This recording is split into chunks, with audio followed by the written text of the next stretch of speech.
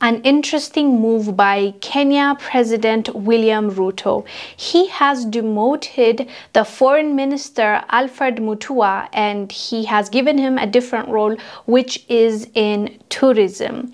This comes right after the police officers plan to deploy Kenyan police officers to Haiti, which seems to be a controversial plan because people like the opposition leader Raila Odinga are so against and they believe that it is risking the Kenyans' lives. Let me show you a clip of the deal between Haiti and Kenya.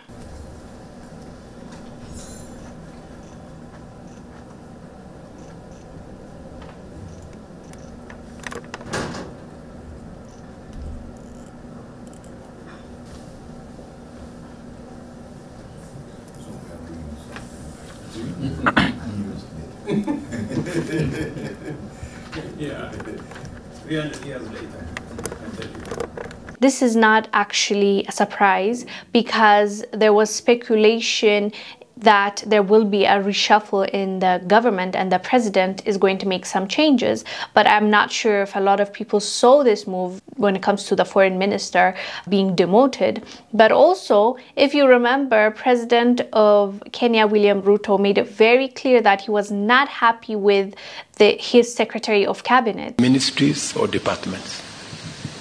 You have very scanty information the moment I know more than you in your ministry, then you must begin to understand that something is very wrong. Because by constitution, you are supposed to advise me. Explain to me how you are going to advise me if you have less information than I do who is going to be advising who. I call many, many PSs. You ask them what's going on here. They have no clue. And this is your department.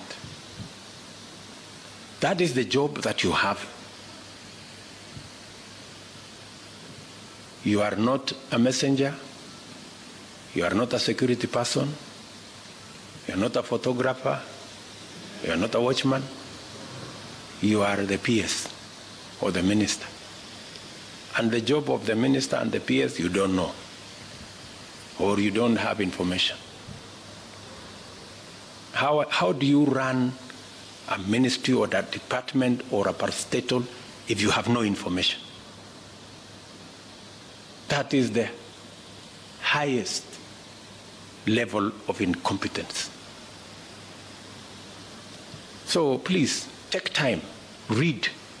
There's a lot of literature on your desks. There's a lot of briefs from departments. There are a lot of briefs from all manner of places. Read.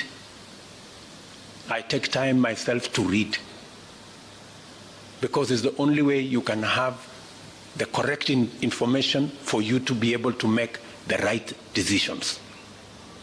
You can never, I promise you, you can never make the right decisions if you do not have the correct information. It will all be a game of guesswork. So clearly, people were expecting this to happen, but just not specifically the foreign ministry. So definitely, this is an interesting move on the president's part. Anyways, fam, let us know down below what your thoughts are about this. I am Wongel Zelalem. I'll see you on the next one. Bye.